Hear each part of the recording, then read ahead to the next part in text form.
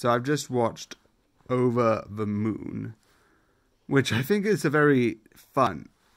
And I don't know if it's just me or I'm just like not missing that this is either by the same creator or some other reason. It reminds me of Mulan, and that's a good thing. A lot of the songs are as good as Mulan and has that sort of like Mulan sounding vibe to it. It's fun. It's interesting. I'm not saying it's like exactly identical and it's there's no difference.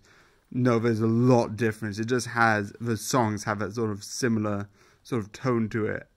It's interesting. It's fun. It's creative, and I just find it a blast.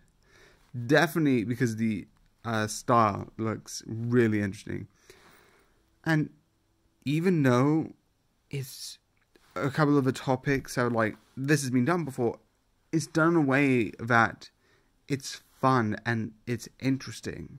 And definitely, for some reason, even though it looks like it's been done before, it feels different. So I definitely 100% recommend to watch it.